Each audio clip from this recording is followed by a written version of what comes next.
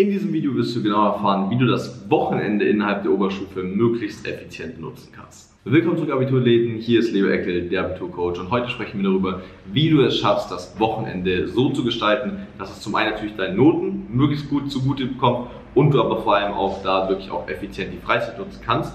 Denn das ist, glaube ich, eine Sache, die sehr viele von euch beschäftigt. Ich meine, dass in der Oberstufe Montag, Dienstag, Mittwoch, Donnerstag manchmal einfach sehr viel mit Schule ähm, behaftet ist. Ist eigentlich normal, ist eigentlich auch für die meisten von euch in Ordnung. Nur was halt super, super wichtig ist, dass ihr auch versteht, kann ich den Freitag, den Samstag und den Sonntag auch nutzen, dass ich erstens vielleicht nicht komplett aus meinem Schulrhythmus rausfall und auf der anderen Seite aber auch vor allem mir da eben auch die Freizeit nehmen kann, die ich mir wirklich nehmen möchte.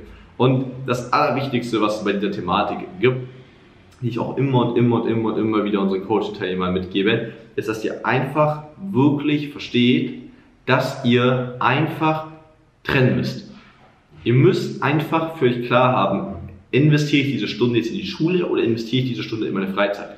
Und solange ihr diese Klarheit darüber nicht habt, werdet ihr immer das Gefühl haben, ihr kommt in der Schule nicht voran und habt aber trotzdem auch keine Freizeit. Weil ihr die ganze Zeit Dinge gleichzeitig macht. Ja, ihr denkt euch den ganzen Sonntag, oh mein Gott, ich muss am Abend noch lernen, ich muss am ganzen Abend noch lernen, ich muss am Abend noch lernen. Anstatt einfach einmal fokussiert am Morgen die Hausaufgaben zu machen, dann wirklich einfach zu wissen, hey, ich habe jetzt den ganzen Sonntag frei.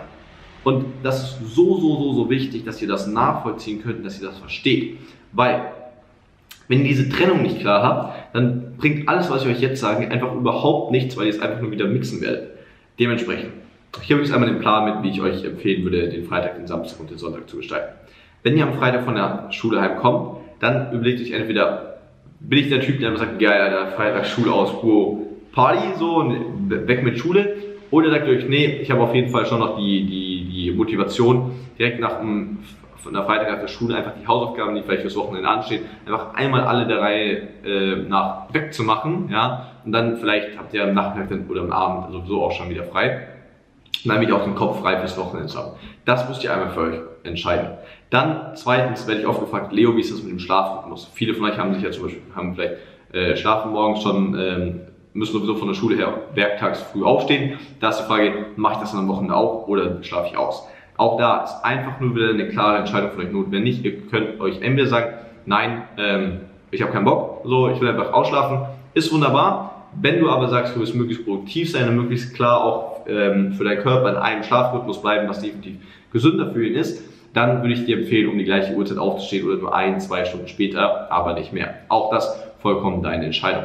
Dann, wenn wir Samstag und Sonntag betrachten, hängt das jetzt natürlich davon ab, was du am Freitag gemacht hast. Wenn du am Freitag schon alle Hausaufgaben gemacht hast, kann ich dir zum Beispiel empfehlen, dass du entweder am Samstag ähm, komplett frei machst, ja, gleich weiß Samstag mache ich nie irgendwas mit Schule, kann vielen von euch auch sehr, sehr gut tun. Wenn du am Freitag ähm, noch nicht die Hausaufgaben gemacht hast, würde ich dir empfehlen, dass du die einfach am Samstag Vormittag machst. Ja, ich würde grundsätzlich am Wochenende, sowohl am Freitag als auch am Samstag als auch am Sonntag, den Nachmittag und vor allem auch den Abend, würde ich nicht mit Schule verbringen, aber den Vormittag. Ja, warum? Ihr bleibt ein bisschen mehr in diesem Rhythmus. Für euch ist nicht immer Samstag, Sonntag, boah, gar nichts machen und dann wieder voll mit der Schule konfrontiert sein, sondern ihr habt ein bisschen mehr den Rhythmus und vor allem auch, wenn ihr Samstag und Sonntag alle Hausaufgaben macht, die anstehen oder auch mit Freitag zusammen, dann entzerrt ihr auch Montag, Dienstag, Mittwoch, Donnerstag, was ein bisschen die stressigeren Tage meistens sind, entzerrt ihr ein bisschen, weil ihr nicht Hausaufgaben, die ihr auch am Wochenende machen könntet, auf einmal innerhalb ähm, der, der Schultage macht, was einfach nur noch mal zu viel mehr Aufwand äh, innerhalb dieser wenigen kostbaren Zeit ist.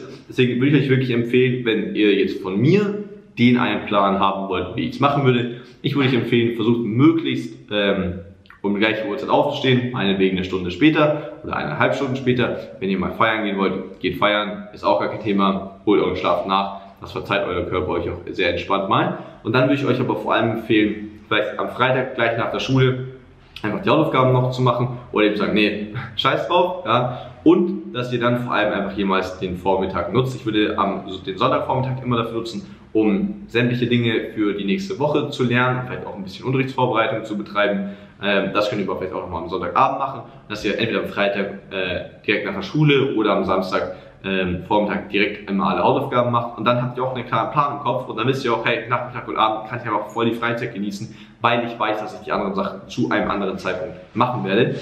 Und so habt ihr diese klare Trennung. Zum einen, die ihr sicher, dass ihr wirklich alle Dinge erledigt, die ihr euch vornehmen wollt und die gemacht werden sollten und zweitens ihr auch wirklich einen Großteil vom Wochenende wirklich vollkommen als Wochenende genießen könnt. Und so habt ihr eben auf der einen Seite die Sicherheit, dass ihr sehr gute Noten schreiben könnt und auf der anderen Seite eben auch die Freizeit genießen könnt. Und genau solche Dinge bringen wir euch eben bei uns im Traumabitur Coaching bei. Deswegen, wenn ihr da ähm, Lust drauf habt, dabei zu sein, ihr lernen wollt, wie kann ich denn wirklich ähm, ja, den Schnitt, den ich mir vornehme, erreichen und gleichzeitig noch Freizeit haben, keinen Stress haben und all solche Themen, dann klickt sehr gerne in der YouTube-Beschreibung auf den allerersten Link und bewerbt euch einmal kostenlos und unverbindlich. Mein Team würde euch einfach anrufen, einmal kurz schauen, hey, wie steht's bei euch, wo sind eure Probleme, wo wollt ihr hin und wie können wir euch da dementsprechend dann auch weiterhelfen. Deswegen gerne einfach einmal bewerben und ansonsten denkt dran, ich glaube an dich, wir sehen uns im nächsten Video. Dein Leo. Especially if it's my dream. I can't let none of these looks intervene, no. Most of these blessings I can't even see. Praying that I get to breathe, yeah